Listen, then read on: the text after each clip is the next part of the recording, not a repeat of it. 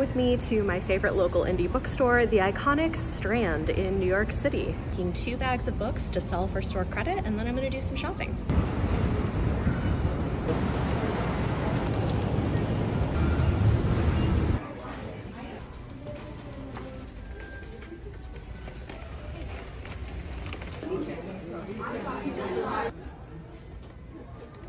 Had success. I got six books. Four of them were half priced because they're used copies, and almost all of these I paid for with my store credit. I only paid about $15 out of pocket.